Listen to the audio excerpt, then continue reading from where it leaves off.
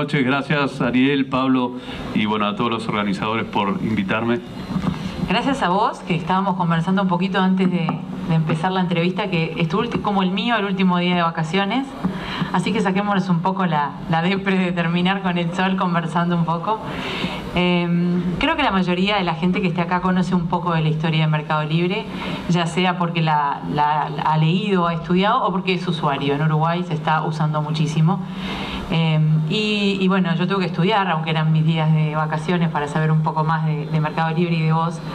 Y leí el año, el año pasado cumplieron 15 años, ¿verdad? En 2014 y vos decías, eh, esto está recién empezando y me pareció interesante el punto de vista porque en esta industria muchas veces uno ve que se crean estos, estas grandes empresas, estos grandes monstruos, y después se venden y, y, el emprendedor que hizo eso comienza otra cosa. Pero tu estilo parece haber sido diferente.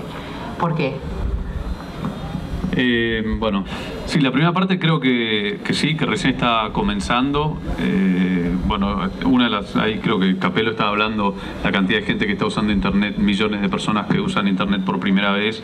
Eh, nosotros vemos que estamos creciendo igual de lo que crecíamos hace 15 años cuando empezamos y generalmente no crecemos más rápido simplemente porque no hacemos más cosas o mejores productos. Cada vez que hacemos un lanzamiento de algún producto bueno, se acelera nuestro crecimiento. De hecho, el año pasado en Brasil, que es, el mercado más maduro o más grande donde estamos, fue uno de los mercados donde más rápido crecimos porque como consecuencia de haber lanzado y mejorado mucho nuestro, nuestros productos ahí. Eh, sí, así que creo que cuando ves la penetración del comercio electrónico es, es menos del 5% del total del comercio y y no tengo dudas de que va a ser más del 50, entonces eh, es mucho más práctico, es mucho más eficiente, es mucho más ecológico, es mucho más conveniente eh, y, no hay dudas de que va, a seguir eh, creciendo y cada vez teniendo un porcentaje mayor como está pasando en otras partes del mundo. y eso, eso me hace estar súper motivado para seguir haciendo cosas y mejorando versus ponerme a, hacer algo nuevo. Todo el tiempo, bueno, de hecho justo me perdí una de las presentaciones porque había unos chicos contando de, su idea. Eh, todo el tiempo escucho ideas y proyectos eh, nuevos y, me parecen geniales y fascinantes, pero no me ha pasado nunca decir, uh, qué ganas de hacer eso versus seguir haciendo lo que estamos haciendo en Mercado Libre, porque creo que tenemos una marca espectacular, tenemos capital, tenemos eh, recursos de tecnología muy buenos que son cosas que cuando vos empezás son difíciles de conseguir, la verdad que es la parte de hacer un emprendimiento más difícil, conseguir dinero, convencer a, ingenieros. Que vos las padeciste por varios años donde no eran, cuando no eran rentables todavía. Sí, sí, es, es, bueno, muchos de los emprendedores que están acá están acá justamente tratando de conectarse con inversores. Eh, es, una parte súper dura convencer a los inversores y convencer a, gente para que vaya a trabajar, deje sus trabajos y te siga solamente detrás de una idea que no se sabe si va a funcionar o no. Eh, eso nosotros ya lo hicimos y creo que todavía tenemos la, la posibilidad de seguir creciendo casi como un startup. Entonces, por eso es que me encanta hacer lo que hago. Pero por otra parte, ustedes eh, en los inicios mataron a la competencia de alguna manera en la región, eh, lograron posicionarse como los líderes, creo que la mayoría de los países, son 12 países en los que están presentes, eh, y sin embargo en los últimos tiempos em, empiezan a aparecer nuevas empresas compitiendo en el mismo ámbito y tal vez en una etapa todavía de su crecimiento que si bien complicada es más fácil porque no tienen todavía la guillotina de la rentabilidad esperándolos. ¿Cómo se compite con esas empresas que salen con todo porque tienen el capital eh, ya reunido y, sin embargo todavía no tienen que dar este cuenta como ustedes que, están cotizando en bolsa? Está, buenísima la, pregunta y me la hacen muchas veces eh, eh, los empleados en, en Mercado Libre. la verdad es que nosotros la fórmula que hemos seguido los últimos 15 años y nos ha funcionado muy bien respecto a la competencia es mirar a todos pero no preocuparnos demasiado por ningún competidor específico, sino en nosotros hacer nuestra, lo que sabemos hacer y hacerlo lo mejor posible. Eh, como yo te decía, esto recién está empezando el crecimiento va a ser enorme, eso lo vemos nosotros y lo ven los demás, y entonces eh, sí, le ganamos a la competencia que teníamos al principio, pero todo el tiempo aparecen competidores nuevos y sabemos que van a seguir apareciendo competidores nuevos por los próximos 20 años, de eso no tenemos ninguna duda, y cada vez van a ser probablemente más grandes y más capitalizados por el hecho de que es muy difícil hoy ya competir en Mercado Libre si no estás dispuesto a invertir mucho, mucho dinero. Eh, creo que estamos muy bien parados. Eh, digamos, el tema de la guillotina, de la rentabilidad, a, nosotros no nos preocupa. Creo que ya somos públicos hace casi, bueno, más de siete años y tenemos credibilidad en el mercado. Nunca nos enfocamos en la rentabilidad. Eh, si bien siempre fuimos rentables, eh, siempre le dejamos muy claro a los inversores que pensamos que esto estaba recién empezando y que queremos ser los líderes de acá a 20 años, seguir siendo los líderes de acá a 20 años y que vamos a hacer todo lo necesario para, para seguir siendo líderes en ese sentido. De todas maneras, yo creo que las enormes inversiones en publicidad que hacen muchos competidores no es la forma de ser líder en absoluto. Creo que la forma de ser líder es tener mejor el producto y de hecho, bueno, hace poco se anunció compramos una, una una, compañía de software en Argentina con 130 ingenieros para reforzar nuestro, nuestro equipo de tecnología ahí. Eh, y eso es lo que hasta ahora siempre nos ha ayudado a mantenernos en los 12 países donde operamos como líderes. Creo que nos falta muchísimo, pero tenemos mucho mejor producto que los demás. Pero los competidores están, no estamos hablando solamente de, de los, de los internacionales, eBay, Alibaba, eh, en, la zona OLX, eh, el brasilero, ¿cómo es que se llama? Brasil Bon, no lo sé pronunciar. Eh, bon Negocio. Bon Negocio, bueno, no era tan difícil. No, muchas veces digo los nombres de los competidores, no sé cómo lo conseguiste. pero están, están, están allí, este, complicándoles tal vez un poco el panorama. ¿Cuánto para vos? ¿Para, para vos son competidores? Vos decís, prefiero no pensar en nombres, pero ¿son competidores? ¿Les complican la operativa? Sin duda son competidores. Eh, no, no nos complican la operativa. Eh, la operativa nuestra depende de nosotros. Eh, yo, sinceramente, a, mí me, divierte más, me motiva más tratar de pensar cómo hacemos para tener un producto como el de Alibaba en China o el de Amazon en Estados Unidos que competir con empresas que hacen lo que hacían en el 99, que la verdad que a mí no me divierte, me aburre directamente. Creo que es un producto malo, eh, gratis, eh, sin atención al cliente, sin pago, sin envío, sin logística. No es algo que, me parezca... Eh, divertido ni, a ganar ni, atractivo enfocarnos en ganarles a eso. Creo que a eso le vamos a ganar sin dudas. Eh, habrá que aguantar todos los años que ellos estén dispuestos a perder dinero haciendo inversiones en publicidad, pero creo que nuestro desafío mucho más grande es eh, cómo hacemos para tener un producto que sea comparable al que Amazon tiene en Estados Unidos, que sea comparable al que Alibaba tiene en China, que sea comparable al que PayPal eh, tiene en todo el mundo. los clasificados gratuitos yo veo, digamos, lo, que vi hace 15 años, lo vengo viendo hace 15 años. Es el mismo producto, la misma gente con la misma estrategia y no me parece algo... Eh... Dijiste dos otras cosas fundamentales que si tenemos tiempo estaría bueno después profundizar. Uno es servicio al cliente, que creo que en eso Mercado Libre no es, ahora es otra cosa, no es lo que era al principio, como vos decías. Y hablaste de publicidad también. Pero antes me gustaría que nos dieras un poco tu punto de vista sobre algo que me parece interesante y son las condiciones eh, de Internet en América Latina. Tú decías eh, en alguna entrevista, para mí es más importante eh, el acceso a Internet y a banda ancha en un país que el PIB. Me pareció súper interesante, pero a su vez los gobiernos y los, y los, los gobernantes de turno tienen que ver también con, con esto y con las regulaciones. Eh, ¿hasta, ¿Hasta dónde los afecta a ustedes esto? Más allá de que en América Latina se está creciendo muchísimo, más allá de que recién decíamos las cifras, ¿no? impensable en una década lo que creció y lo que tenés por crecer, porque son 400 millones. ¿no? Más o menos a los que ustedes están llegando actualmente. Eh, la, zona donde operamos tiene más de 500 millones de personas y tenemos más de 100 millones de usuarios registrados. ¿Y vos crees que pueden llegar a, 200 en el mediano plazo? Sí, nosotros tuvimos el año pasado 27 millones de personas usando nuestro sitio. Eh, perdón, eso fue el 2013, la cifra del 2014 todavía no, no, es pública, pero, pero aspiramos a tener en un año calendario 100 millones de personas utilizando Mercado Libre y no veo ninguna razón por la cual si hacemos las cosas bien no lleguemos a 500 millones de personas. Ahí está, si ustedes hacen las cosas bien, ¿qué pasa con, los contextos externos, con los países? Eh, ¿Qué pasa si un gobierno dice, mm, bueno, no voy a invertir en banda ancha, no voy a invertir en que todos los ciudadanos tengan acceso o les voy a complicar las cosas a nivel impositivo, por ejemplo? Eh, están los casos extremos ¿no? que nos ha pasado en, algún país donde, eh, no sé, en Venezuela hay muchos, muchos controles de precios y en un momento nos cerraron eh, el sitio de autos que tenemos que se llama Tu Carro porque los precios que estaban allí eran distintos a los que el gobierno eh, pretendía, y, pero, pero en general eso no pasa. y a, pesar de que vos ves, por ejemplo, países como Venezuela y Chile, que son tal vez los dos opuestos más importantes, en América Latina, eh, en ambos eh, Internet y banda ancha y la penetración de los celulares sigue siendo altísima, con lo cual yo no creo que lleguemos a, digamos, a situaciones donde prohíban el uso de teléfonos celulares o realmente no haya inversiones en banda ancha. Están los beneficios que esto le genera, le, genera a la gente y a la población eh, y las eficiencias que genera, no solamente para el comercio, ¿no? yo creo que es súper interesante lo que hacemos nosotros, que eh, realmente democratizamos el comercio, pero lo mismo sucede en educación, en salud, en, eh, acceso a la información, redes sociales. Entonces todos los gobiernos tienen un interés, independientemente si son de izquierda, de derecha o de centro, en, mejorar el acceso eh, de la gente a, poder, para poder utilizar Internet. Venezuela, justamente Maduro había dicho, los, los voy a convocar para hablar de los precios especulativos y falsos. ¿Qué pasó con eso?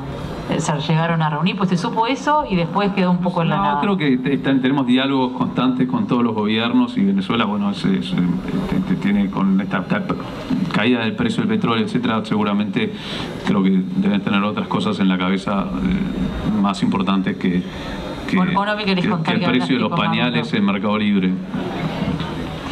Eh, hablabas de servicio, de servicio al cliente y creo que eso es fundamental. Y hablabas de Amazon, vos, vos decías, me gustaría avanzar para para evolucionar hacia eso. Em, y todavía en, Mercado Libre, me baso en la experiencia de Uruguay, pero tal vez suceda en otros países, hay denuncias de vendedores engañosos, de estafas e incluso de productos falsos. ¿Cómo maneja eso Mercado Libre? Porque con los millones de transacciones que se producen por día, ¿es posible tener una policía de Mercado Libre que esté chequeando garantías? ¿Hasta qué punto pueden solo depender del el peer review, de lo que la gente dice del vendedor? Bueno, eso es distinto en cada país. En Uruguay todavía no tenemos mercado pago, que es una de las cosas que me gustaría cambiar este año. Eh, a medida que vos te metes en lo que es los pagos y los envíos, eh, tenés mucho más control y no solamente tenés que depender de, las calificaciones.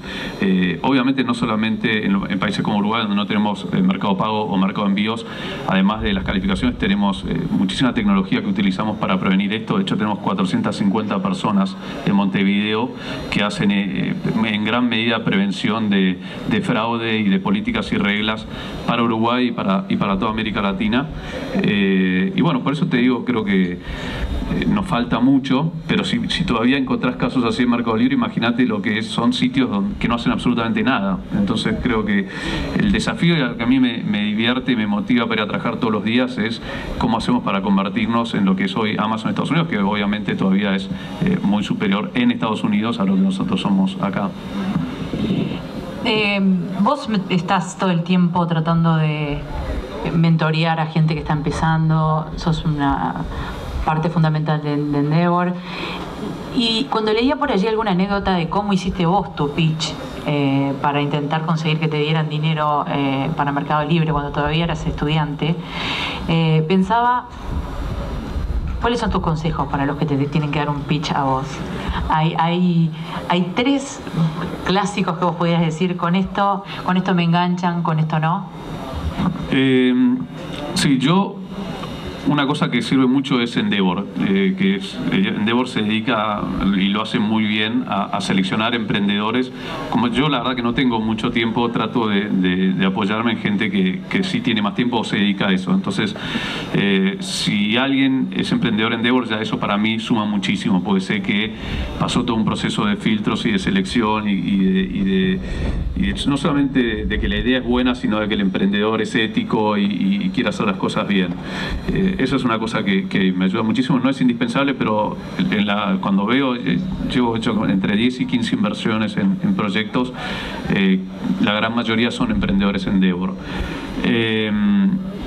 Después, si no, es, así, que vengan recomendados por alguien que, yo conozco personalmente, que conozco bien y que estuve con esta gente, están haciendo esto, que, me parece súper interesante, eso me ayuda que estén haciendo algo que a mí me parezca interesante, eh, no solamente que le vaya bien, sino que me parezca interesante, el área de educación, el área de salud, eh, todo lo que es enterprise me parece súper interesante, todo lo que es eh, energía renovable me parece súper interesante. Así que esas cosas. Para, para hacerla fácil a los que quieren saber qué te interesa, hace poquito hiciste tú una selección de unas 10 eh, eh, emprendedores o empresas nuevas para CNN y está muy buena porque va por ahí, por todos esos temas que vos decías justamente, así que está buena buscarla online y, estar ahí. Em, tenemos que ir terminando, pero yo alguna vez leí, y no me acuerdo de dónde, porque no me acuerdo quién lo dijo, que los éxitos se hacen en base a fracasos. Lo que pasa es que generalmente en la historia los fracasos no se cuentan mucho.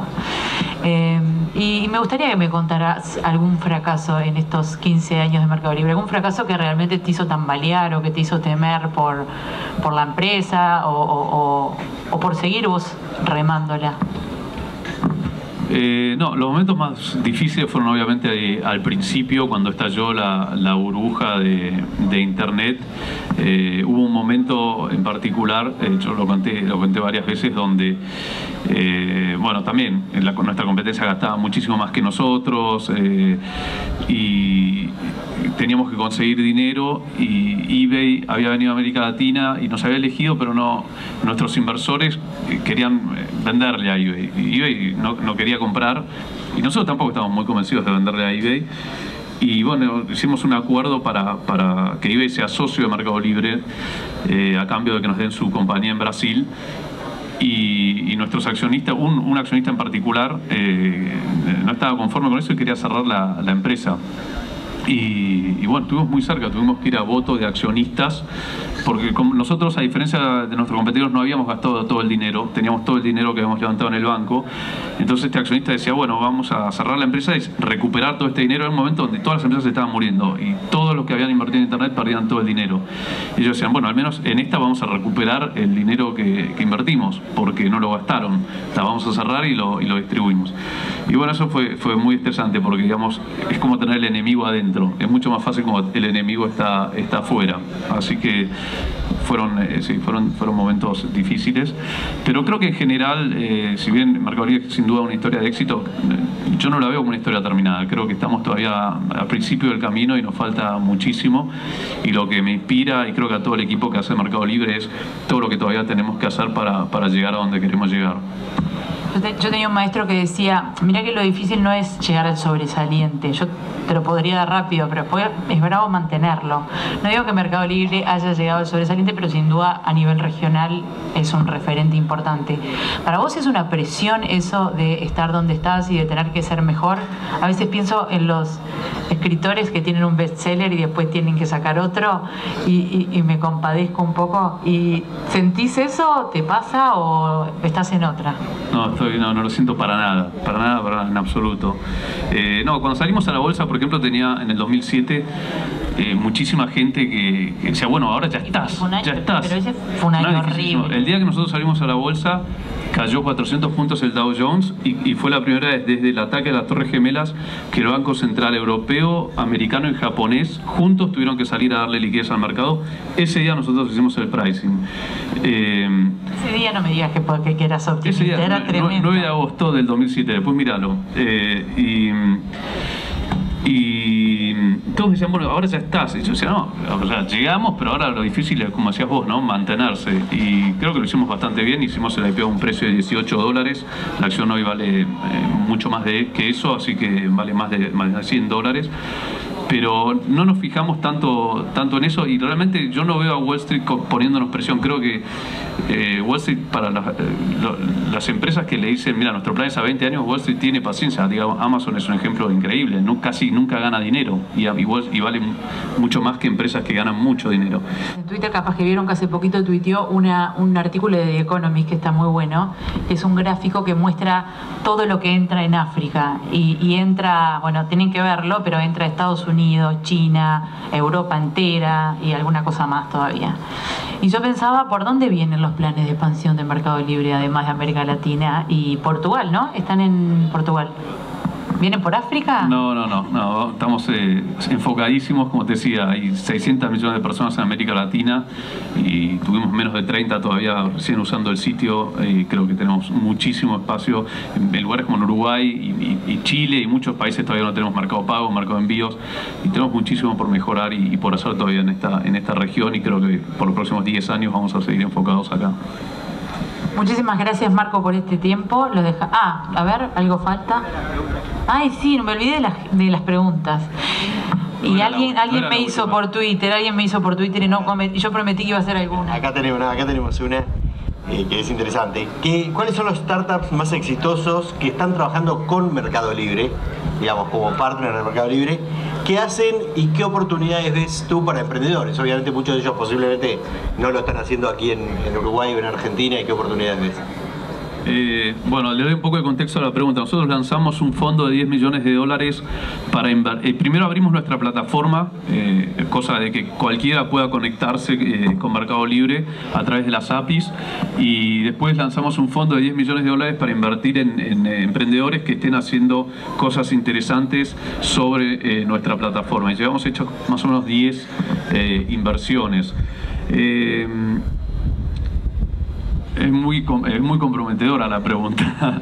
Eh, no, no, quiero... No, que no te hagamos preguntas fáciles. Eh, bueno, eh, hay una en la que estoy invirtiendo que se llama Nubimetrics, que son unos chicos de Jujuy que están haciendo análisis de, mercados para los vendedores y está buenísima. Creo que están acá además, así que seguro que la hicieron ellos. pero no, no, son los... La verdad que todos están haciendo cosas interesantes. Hay, hay tantas oportunidades. Hay unos que hacen financiamiento a los vendedores y a los compradores usando la, información de compras y ventas que han hecho en Mercado Libre como información crediticia. Eh, creo que esa es una oportunidad realmente gigantesca, eh, súper eh, interesante. Hay, muchas, muchas empresas haciendo todo lo que es envíos y logística también, súper interesante. no sé, no quiero dar un nombre específico porque lo digo simplemente porque estoy invirtiendo, pero, pero en Mercado Libre como empresa ya hemos invertido en 10 y seguramente vamos a invertir en unas cuantas más. Y hay una pregunta y otra más. ¿Te acordás de la publicidad esa de Fidel Castro que habían hecho? ¿Vamos a tener Mercado Libre Cuba ahora? O? Está bravo con, con, internet, ¿no? es una buena pregunta, es una buena pregunta. Veremos. Ojalá, ojalá sea posible. Sería genial. Marco, muchísimas gracias. Gracias por estar acá, gracias por estos minutos y ahora te dejamos que te ataquen todos los que tienen ideas y, te las cuenten y, bueno, que se nutran mutuamente. Gracias por, por estos minutos. Gracias por la invitación. Muchas gracias.